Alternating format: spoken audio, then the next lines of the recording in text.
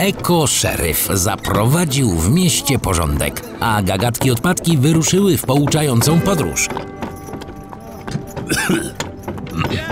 Nie wiem dokąd nas wiozą, ale raczej nie na piknik. A propos pikniku, to zaschło mi w szyjce. Ciekawe jak długo posiedzimy. I co z nami będzie? Nie martwcie się, chłopaki. Będzie z was pożytek. I to szybciej niż myślicie.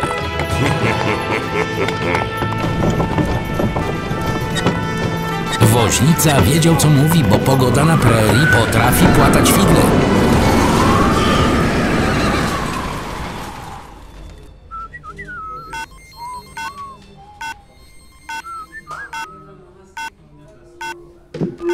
Szeryfie, jesteśmy gotowi. No to zaczynamy.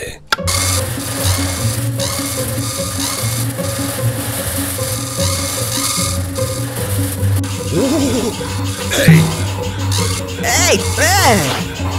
Ej!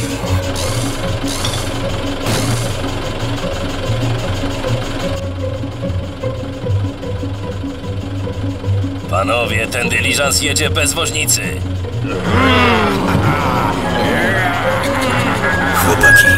Przedstawiałem wam już mojego nowego Colta 45 mm?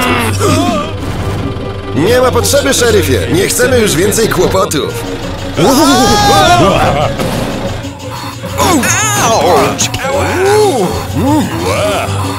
Mógłbyś się do mnie nie kleić? Widzisz, to jest schludny lokal, a ty... Że niby śmierdzę, tak? Stary, fiołkami to raczej nie pachniesz.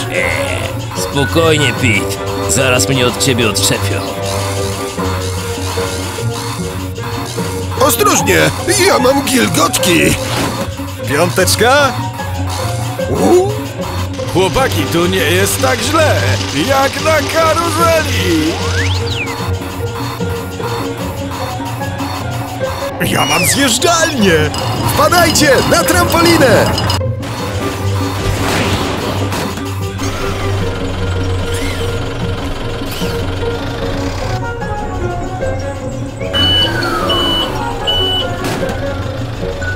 Nie było tu jeszcze takich gagatków, których bym nie posegregował. Mam przeczucie, że będzie z nich duży pożytek.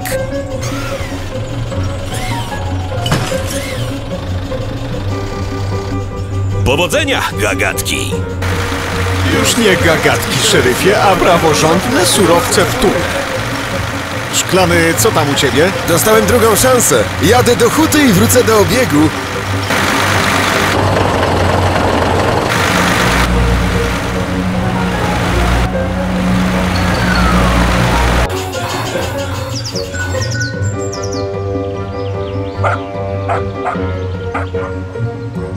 Ja mam wakacje. Trochę poleżę w ciepełku, rozłożę się, a potem będę sadził kwiatki.